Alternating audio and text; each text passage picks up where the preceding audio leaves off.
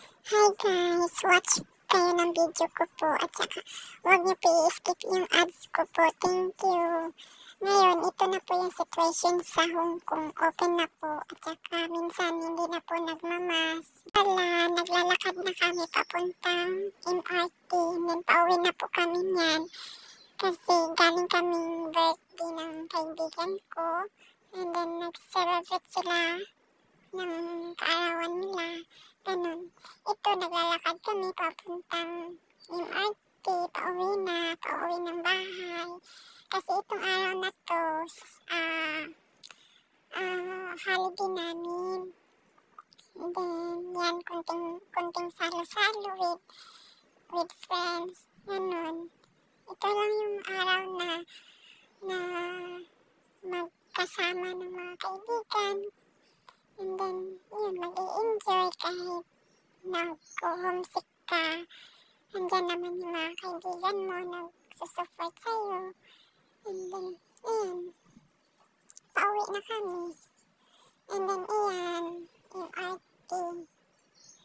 Tapos, yan, itatap up mo yan. Yan, pamasahe yan ata. Mm -mm. Yan, papunta kami ulit.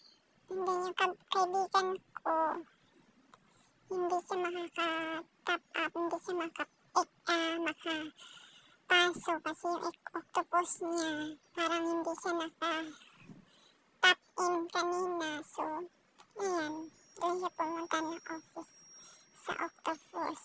Yun, hinihintay pa namin. At yan, yung mga pig, ang ganda niyan. Diyan, ayan, picture-picture ang daming tao, magpipila ka bago ka makapicture dyan. Mm, Ganun yan. Then yan. Yan sa mall. Yan, minsan, minsan lang kasi ako nag, minsan lang kasi ako lumalabas niyan. Tapos, yan. Mm-mm. Hindi ako nakapicture dyan. Ayan,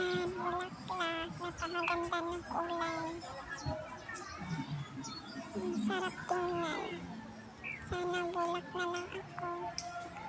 Para sakaling malungkot ka.